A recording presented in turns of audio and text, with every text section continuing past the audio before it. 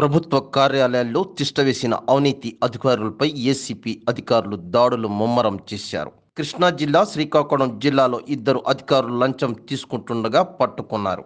కృష్ణా జిల్లా కలెక్టరేట్ కార్యాలయంలో సోమవారం ఓ అవినీతి అధికారిని ఏసీబీ అధికారులు వలవేసి పట్టుకున్నారు. ఈ ఘటన కలెక్టరేట్లోని అధికారుల్లో కలకలం రేపింది. కలెక్టర్ కార్యాలయంలోని భూ సంస్కరణల విభాగంలో అధికృత అధికారి డి. ప్రశాంతి లంచం తీసుకుంటూ దొరికిపోయారు. గుంటూరు జిల్లా తాడేపల్లి మండలం ఉండవల్లి గ్రామస్తుడు రామలింగేశ్వర్ రెడ్డికి కృష్ణా జిల్లా ఉయ్యూరు మండలంలోని కాటూరు గ్రామంలో నాలుగు పాయింట్ యాభై మూడు సెంట్ల వ్యవసాయ భూమి ఉంది.